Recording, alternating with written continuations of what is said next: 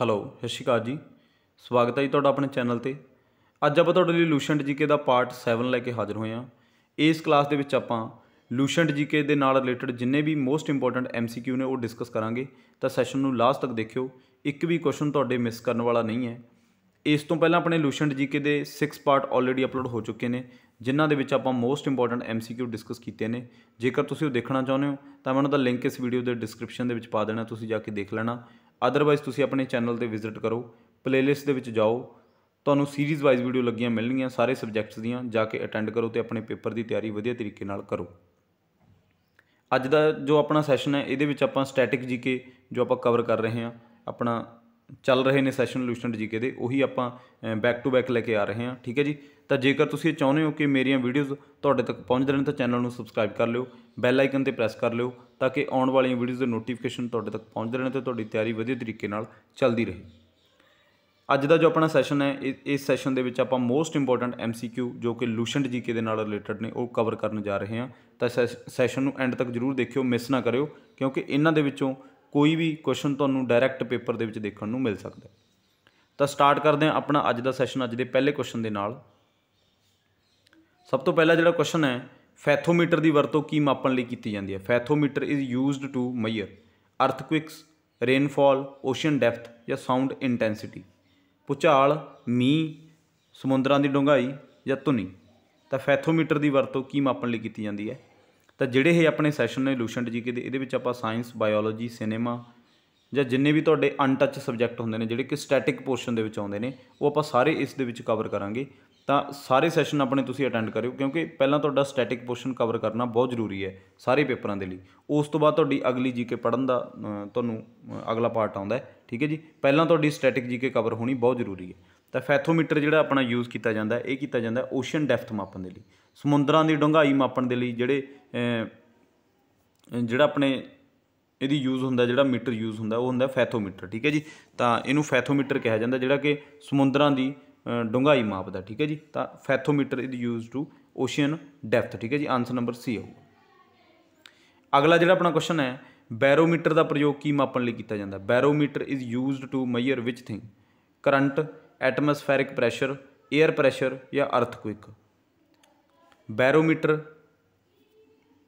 ਕਿਹੋ ਜਿਹਾ ਇਨਸਟਰੂਮੈਂਟ ਆ ਜਿਹੜਾ ਕੀ ਮਾਪਦਾ ਹੈ, ਠੀਕ ਹੈ ਜੀ? ਤਾਂ ਬੈਰੋਮੀਟਰ ਦਾ ਪ੍ਰਯੋਗ ਵੀ ਤੁਹਾਨੂੰ ਪੁੱਛ ਸਕਦੇ ਨੇ। ਇਹ ਸਾਰੇ ਮੀਟਰ ਤੁਹਾਨੂੰ ਪਤਾ ਹੋਣੇ ਚਾਹੀਦੇ ਨੇ, ਹਰ ਵਾਰ ਇਹ ਪੁੱਛੇ ਜਾਂਦੇ ਨੇ, ਠੀਕ ਹੈ ਜੀ? ਤਾਂ ਸਾਇੰਸ ਦੇ ਇਹ ਕੁਐਸਚਨ ਨੇ, ਤੁਹਾਨੂੰ ਪਤਾ ਹੈ, ਠੀਕ ਹੈ ਜੀ? ਤਾਂ ਇਹ ਹਰ ਵਾਰ ਆਉਂਦੇ ਨੇ ਤੇ ਆਪਾਂ ਇਹਦੇ ਵਿੱਚ ਆਪਾਂ ਕਨਫਿਊਜ਼ ਹੋ ਕੇ ਇਹਨੂੰ ਗਲਤ ਕਰਾਉਨੇ ਆ ਤਾਂ ਬੈਰੋਮੀਟਰ ਦਾ ਜਿਹੜਾ ਪ੍ਰਯੋਗ ਹੁੰਦਾ, ਇਹ ਐਟਮੋਸਫੈਰਿਕ ਪ੍ਰੈਸ਼ਰ ਮਾਪਦਾ, ਠੀਕ ਹੈ ਜੀ? ਤਾਂ ਜਿਹੜਾ ਕਿ ਵਾਤਾਵਰਣਿਕ ਦਬਾਅ ਨੂੰ ਮਾਪਦਾ, ਇਹ ਐਟਮੋਸਫੈਰਿਕ ਪ੍ਰੈਸ਼ਰ ਨੂੰ। ਤਾਂ ਬੈਰੋਮੀਟਰ ਆਨਸਰ ਨੰਬਰ 2 ਆਊਗਾ। ਐਟਮੋਸਫੈਰਿਕ ਪ੍ਰੈਸ਼ਰ ਮਾਪਣ ਦੇ ਲਈ ਇਹਦਾ ਪ੍ਰਯੋਗ ਕੀਤਾ ਜਾਂਦਾ ਹੈ। ਅਗਲਾ ਜਿਹੜਾ ਆਪਣਾ ਕੁਐਸਚਨ ਹੈ, ਸਸੀਮੋਮੀਟਰ ਦਾ ਪ੍ਰਯੋਗ ਕੀ ਮਾਪਣ ਲਈ ਕੀਤਾ ਜਾਂਦਾ? Seismometer is used to measure which thing current atmospheric pressure air pressure ਜਾਂ ਅਰਥਕੁਇਕ ਤਾਂ ਸਸੀਮੋਮੀਟਰ ਦਾ ਪ੍ਰਯੋਗ ਵੀ ਤੁਹਾਨੂੰ ਪੁੱਛ ਸਕਦੇ ਨੇ। ਤਾਂ ਇਹ ਸਾਰੇ ਜਿੰਨੇ ਵੀ ਇੰਪੋਰਟੈਂਟ ਨੇ, ਜਿਹੜੇ ਵਾਰ-ਵਾਰ ਪੁੱਛੇ ਗਏ ਨੇ, ਸਿਰਫ ਉਹ ਆਪਾਂ ਤੁਹਾਡੇ ਅੱਗੇ ਲੈ ਕੇ ਆ ਰਹੇ ਹਾਂ, ਠੀਕ ਹੈ ਜੀ? ਤੁਹਾਨੂੰ ਅੱਗੇ ਵੀ ਪੁੱਛੇ ਜਾਣਗੇ, ਠੀਕ ਹੈ ਜੀ ਇਹ? ਤਾਂ ਜਿੰਨੇ ਵੀ ਆਪਣੇ ਕੁਐਸਚਨ ਹੁੰਦੇ ਨੇ, ਇੱਕ ਵੀ ਕੁਐਸਚਨ ਤੁਹਾਨੂੰ ਇਹ ਨਹੀਂ ਹੈਗਾ ਕਿ ਆਪਾਂ ਫਾਲਤੂ ਤੁਹਾਡੇ ਅੱਗੇ ਲੈ ਕੇ ਆਵਾਂਗੇ, ਤੁਹਾਡੇ ਟਾਈਮ ਵੇਸਟ ਕਰਾਂਗੇ। ਤਾਂ ਆਪਣਾ ਟਾਈਮ ਹੈ ਜਿਹੜਾ, ਉਹ ਆਪਣੇ ਲਈ ਬਹੁਤ ਕੀਮਤੀ ਹੈ। ਤਾਂ ਕਰਕੇ ਮੈਂ ਤੁਹਾਡੇ ਲੱਗੇ ਜਿੰਨੇ ਵੀ ਕੁਐਸਚਨ ਲੈ ਕੇ ਆ ਰਿਹਾ, ਉਹ ਸਾਰੇ ਮੋਸਟ ਇੰਪੋਰਟੈਂਟ ਨੇ, ਤੁਹਾਨੂੰ ਅੱਗੇ ਪੁੱਛੇ ਜਾਣਗੇ, ਠੀਕ ਹੈ ਜੀ? ਤਾਂ ਸਸੀਮੋਮੀਟਰ ਜਿਹੜਾ ਮਾਪਿਆ ਜਾਂਦਾ ਸਸੀਮੋਮੀਟਰ ਦੇ ਨਾਲ ਕੀ ਚੀਜ਼ ਮਾਪੀ ਜਾਂਦੀ ਹੈ? ਅਰਥਕੁਇਕ ਠੀਕ ਹੈ ਜੀ? ਤਾਂ ਆਨਸਰ ਨੰਬਰ 4 ਆਊਗਾ। ਜੇ ਆਪਾਂ ਭੁਚਾਲ ਨੂੰ ਮਾਪਣਾ ਹੋਵੇ ਤਾਂ ਕਿਹੜੇ ਮੀਟਰ ਦਾ ਪ੍ਰਯੋਗ ਕਰਾਂਗੇ? ਸਸੀਮੋਮੀਟਰ ਦਾ, ਠੀਕ ਹੈ ਜੀ? ਤਾਂ ਆਨਸਰ ਨੰਬਰ 4 ਆਊਗਾ ਇਹਦਾ, ਯਾਦ ਰੱਖਣਾ ਅਗਲਾ ਜਿਹੜਾ ਆਪਣਾ ਕੁਐਸਚਨ ਹੈ ਐਨੈਮੋਮੀਟਰ ਦਾ ਪ੍ਰਯੋਗ ਕੀ ਮਾਪਣ ਲਈ ਕੀਤਾ ਜਾਂਦਾ ਹੈ? Anemometer is used to measure which thing speed and direction of wind, atmospheric pressure air pressure ਜਾਂ ਅਰਥਕੁਇਕ ਤਾਂ ਅਰਥਕੁਇਕ ਦੇ ਲਈ ਆਪਾਂ ਪਿੱਛੇ ਪੜ੍ਹ ਕੇ ਆਏ ਕਿਹੜਾ? ਸਸੀਮੋਮੀਟਰ ਹੈ, ਠੀਕ ਹੈ ਜੀ? ਐਟਮੋਸਫੈਰਿਕ ਪ੍ਰੈਸ਼ਰ ਦੇ ਲਈ ਹੈਗਾ ਆਪਣਾ ਬੈਰੋਮੀਟਰ। ਤਾਂ ਇਹ ਕੀ ਮਾਪਦਾ? ਇਹ ਮਾਪਦਾ speed and direction of wind. ਤਾਂ ਇਹ ਜਿਹੜਾ ਹੁੰਦਾ, ਇਹ ਇਸ ਤਰ੍ਹਾਂ ਦਿਖਦਾ ਹੁੰਦਾ, ਠੀਕ ਹੈ ਜੀ? ਤਾਂ ਇਹਦੇ ਮਤਲਬ ਇੱਧਰ ਇਹ ਚੀਜ਼ਾਂ, ਇਹ ਐਵੇਂ ਬਣਿਆ ਹੁੰਦਾ ਹੈ ਠੀਕ ਹੈ ਜੀ? ਤਾਂ ਹਵਾ ਦੇ ਵਿੱਚ ਇਹ ਘੁੰਮਦਾ ਹੈਗਾ, ਮਤਲਬ ਇਹ ਫਾਸਟ ਫਾਸਟ ਘੁੰਮਦਾ ਹੈ, ਤਾਂ ਇਹ ਸਪੀਡ ਮਾਪਦਾ ਹੈ ਤੇ ਡਾਇਰੈਕਸ਼ਨ ਵੀ ਹਵਾ ਕਿੱਧਰ ਨੂੰ ਘੁੰਮ ਰਹੀ ਹੈ, ਠੀਕ ਹੈ ਜੀ? ਤੇ ਕਿੱਧਰ ਕਿਹੜੇ ਸਾਈਡ ਵੱਲ ਜਾ ਰਹੀ ਹੈ? ਨਾਰਥ ਈਸਟ ਵੈਸਟ ਠੀਕ ਹੈ ਜੀ? ਤਾਂ ਉਹ ਵੀ ਇਹ ਦੱਸਦਾ ਹੈ ਡਾਇਰੈਕਸ਼ਨ ਦੱਸਦਾ ਇਹ ਹਵਾ ਦੀ ਤੇ ਇਹ ਸਪੀਡ ਦੱਸਦਾ, ਠੀਕ ਹੈ ਜੀ? ਤਾਂ ਇਸ ਤਰ੍ਹਾਂ ਤੁਸੀਂ ਗੂਗਲ ਤੇ ਸਰਚ ਮਾਰ ਕੇ ਇਹਨੂੰ ਦੇਖ ਸਕਦੇ ਹੋ ਐਨੈਮੋਮੀਟਰ ਹੁੰਦਾ ਹੈ ਠੀਕ ਹੈ ਜੀ? ਐਨੈਮੋਮੀਟਰ ਹੁੰਦਾ ਜਿਹੜਾ ਸਪੀਡ ਤੇ ਡਾਇਰੈਕਸ਼ਨ ਮਾਪਦਾ ਹੈ ਵਿੰਡ ਦੀ, ਹਵਾ ਦੀ, ਠੀਕ ਹੈ ਜੀ? ਤਾਂ ਆਨਸਰ ਨੰਬਰ 1 ਆਊਗਾ ਇਹਦਾ। ਅਗਲਾ ਜਿਹੜਾ ਆਪਣਾ ਕੁਐਸਚਨ ਹੈ ਐਮ ਮੀਟਰ ਦਾ ਪ੍ਰਯੋਗ ਕੀ ਮਾਪਣ ਲਈ? ਇਹਨੂੰ ਐਮੀ ਵੀ ਕਿਹਾ ਜਾਂਦਾ ਹੈ ਐਮ ਮੀਟਰ ਵੀ ਕਿਹਾ ਜਾਂਦਾ, ਠੀਕ ਹੈ ਜੀ? ਐਮ ਮੀਟਰ ਦਾ ਪ੍ਰਯੋਗ ਕੀ ਮਾਪਣ ਲਈ ਕੀਤਾ ਜਾਂਦਾ? ਹੈ ਤਾਂ current, atmospheric pressure air pressure ਜਾਂ ਅਰਥਕੁਇਕ ਤਾਂ ਐਮ ਮੀਟਰ ਇੱਕ ਇਹੋ ਜਿਹਾ, ਕਿਹੋ ਜਿਹਾ ਯੰਤਰ ਹੈ? ਇਹਦੇ ਬਾਰੇ ਆਪਾਂ ਨੂੰ ਪਤਾ ਹੋਣਾ ਚਾਹੀਦਾ ਕਿ ਕੀ ਮਾਪਣ ਲਈ ਇਹਦੀ ਇਹਦੀ ਵਰਤੋਂ ਕੀਤੀ ਜਾਂਦੀ ਹੈ। ਤਾਂ ਇਹਦਾ ਜਿਹੜਾ ਆਨਸਰ ਹੈ ਆਨਸਰ ਨੰਬਰ 1 ਹੋਊਗਾ। ਕਰੰਟ ਮਾਪਣ ਦੇ ਲਈ ਇਹਦੀ ਵਰਤੋਂ ਕੀਤੀ ਜਾਂਦੀ ਹੈ, ਜਿਹੜਾ ਆਪਣਾ ਐਮੀਮੀਟਰ ਇਹਨੂੰ ਕਿਹਾ ਜਾਂਦਾ। ਐਮੀਮੀਟਰ ਵੀ ਕਿਹਾ ਜਾਂਦਾ ਐਮ ਮੀਟਰ ਹੈ ਵੈਸੇ। ਇਹਦੇ ਸਪੈਲਿੰਗ ਨੇ, ਇਹ ਸਹੀ ਨੇ। ਤਾਂ ਇਹ ਕਰੰਟ ਮਾਪਣ ਦੇ ਲਈ, ਠੀਕ ਹੈ ਜੀ? ਕਰੰਟ ਮਾਪਣ ਦੇ ਲਈ ਇਹਦੀ, ਇਹਦਾ ਪ੍ਰਯੋਗ ਹੁੰਦਾ ਐਮ ਮੀਟਰ ਦਾ, ਠੀਕ ਹੈ ਜੀ? ਤਾਂ ਬਹੁਤ ਇੰਪੋਰਟੈਂਟ ਹੈ, ਤਾਂ ਆਨਸਰ ਨੰਬਰ 1 ਆਊਗਾ ਇਹਦਾ।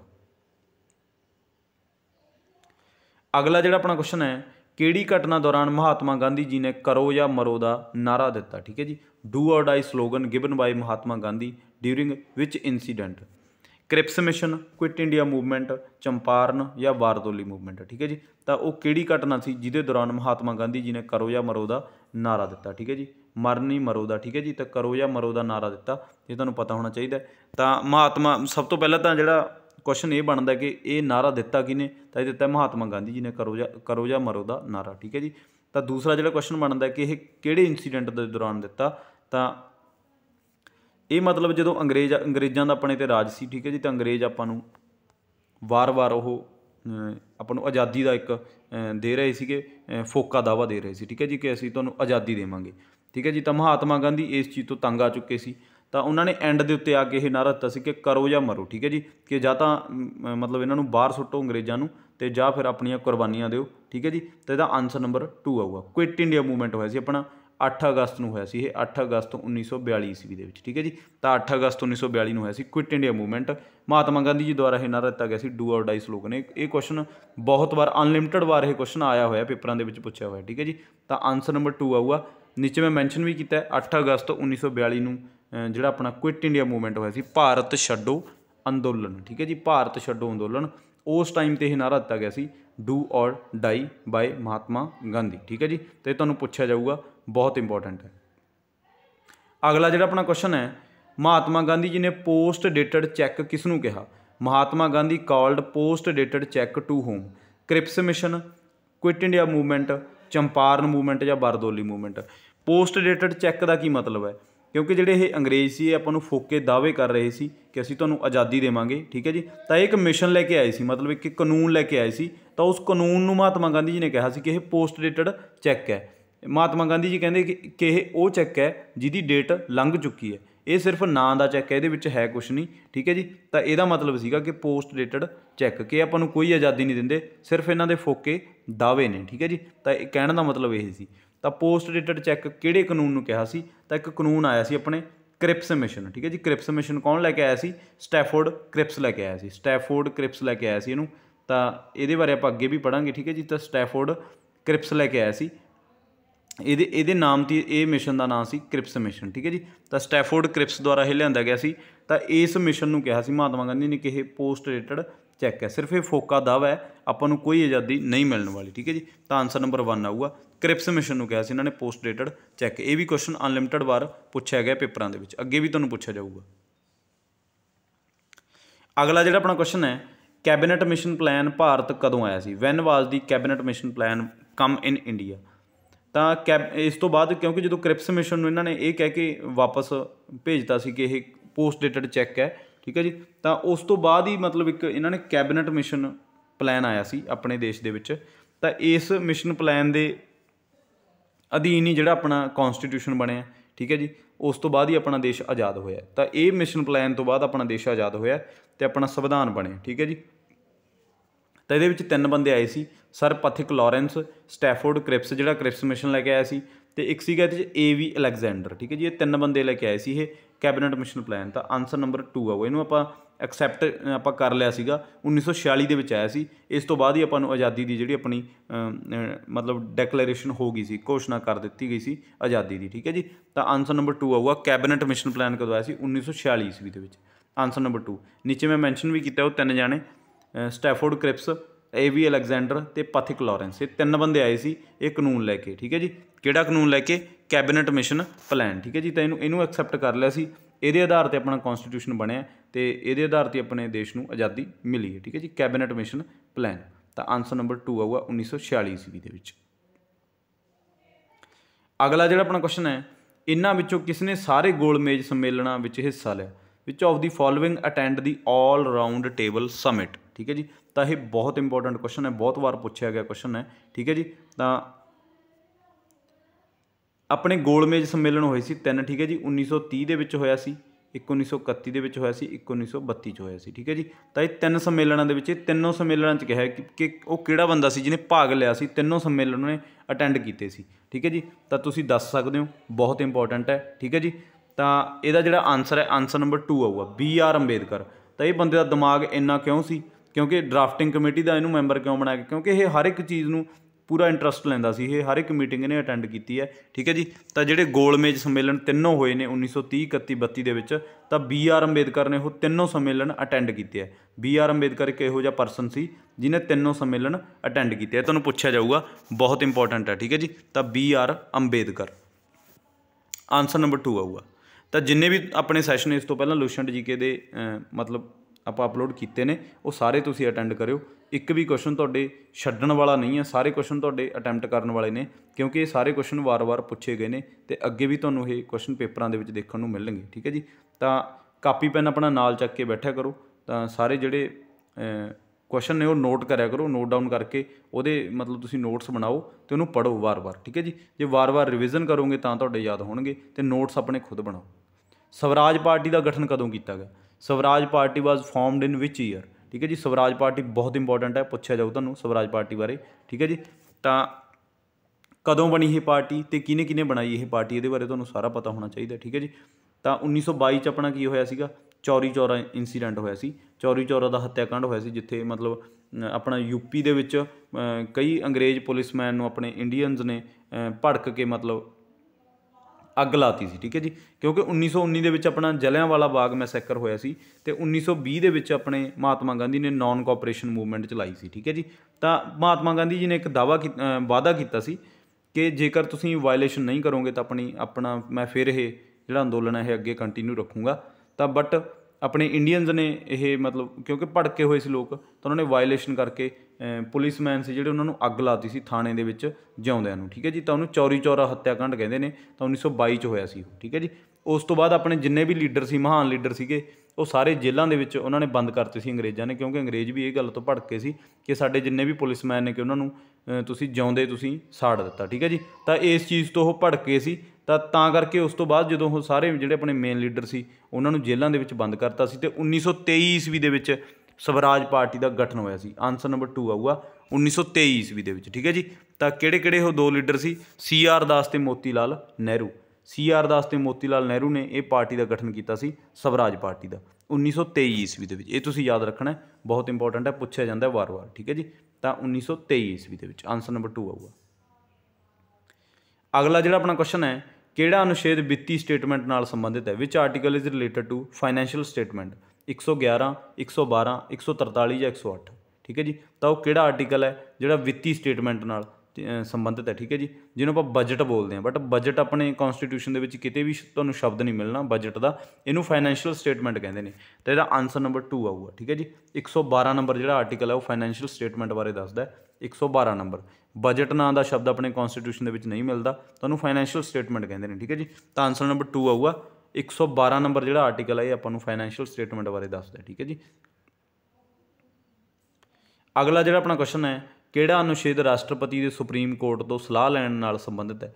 Which article is related to president take advice from supreme court ਕਿ ਜਿਹੜਾ ਪ੍ਰੈਜ਼ੀਡੈਂਟ ਆਪਣਾ ਰਾਸ਼ਟਰਪਤੀ ਉਹ ਕਿਸੇ ਵੀ ਮਾਮਲੇ ਦੇ ਵਿੱਚ ਸੁਪਰੀਮ ਕੋਰਟ ਤੋਂ ਸਲਾਹ ਲੈ ਸਕਦਾ ਹੈ। ਤਾਂ ਇਹ ਕਿਹੜੇ ਆਰਟੀਕਲ ਦੇ ਵਿੱਚ ਲਿਖਿਆ? 111 112 143 ਜਾਂ 108 108 ਤਾਂ ਆਪਾਂ ਨੂੰ ਪਤਾ ਹੈ ਕਿ ਜੁਆਇੰਟ ਸਿਟਿੰਗ ਦੇ ਨਾਲ ਸੰਬੰਧਿਤ ਹੈ, ਠੀਕ ਹੈ ਜੀ? 108 ਤਾਂ ਜੁਆਇੰਟ ਸਿਟਿੰਗ ਨਾਲ ਹੈ। ਤਾਂ ਇਹਦਾ ਜਿਹੜਾ ਆਨਸਰ ਹੈ ਆਨਸਰ ਨੰਬਰ 3 ਆਊਗਾ। 143 ਨੰਬਰ ਆਰਟੀਕਲ ਇਹ ਦੱਸਦਾ ਹੈ ਕਿ ਜਿਹੜਾ ਰਾਸ਼ਟਰਪਤੀ ਆ ਉਹ ਸੁਪਰੀਮ ਕੋਰਟ ਤੋਂ ਕਿਸੇ ਵੀ ਮਾਮਲੇ ਦੇ ਵਿੱਚ ਸਲਾਹ ਲੈ ਸਕਦਾ ਹੈ ਐਡਵਾਈਸ ਲੈ ਸਕਦਾ। ਤਾਂ ਆਨਸਰ ਨੰਬਰ 3 ਆਊਗਾ।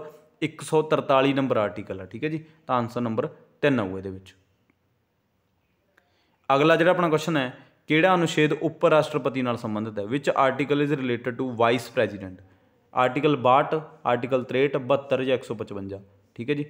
ਤਾਂ ਇਹਦਾ ਜਿਹੜਾ ਆਨਸਰ ਹੈ, ਕਿਉਂਕਿ 52 ਤੋਂ ਲੈ ਕੇ ਜਿਹੜੇ 62 ਤੱਕ ਆਰਟੀਕਲ ਨੇ, ਉਹ ਕਿਹਦੇ ਨਾਲ ਰਿਲੇਟਡ ਨੇ ਆਪਣੇ?